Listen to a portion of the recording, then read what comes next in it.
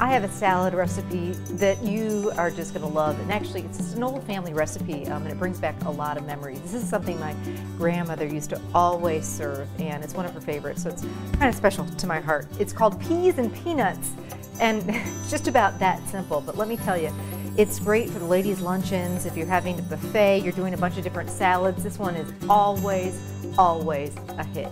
Okay, so it starts out with a real simple dressing. We're actually going to do um, equal parts so about a half cup of mayonnaise and a half cup of sour cream.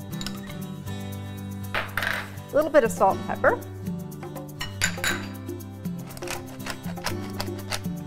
And a dash or two of Worcestershire sauce. You know, I don't measure, it's just one more thing to wash, you know me. So I'm just gonna mix that around.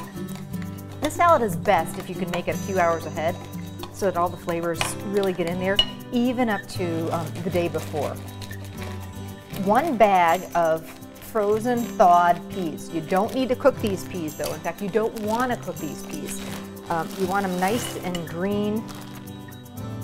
And if you cook them, they won't be as green. I've got two stalks of finely diced celery.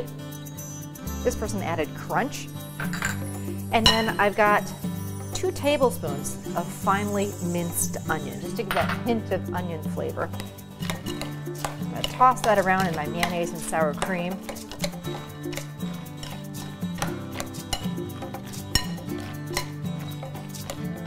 And then it's peas and peanuts, so I think we better add the peanuts. I've got a half cup. If you really like peanuts, you could even do up to a full cup of peanuts. I'm to save a few to put on top. And these are just your ordinary, um, you know, cocktail salted peanuts. Spanish peanuts are great in here too. And again, refrigerate this at least for a few hours until serving. Even better to do it the day ahead so that flavor really gets in there. Promise you everyone is going to be asking for this recipe. A few little peanuts on top.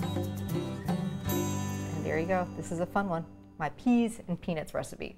Actually, my grandmother's.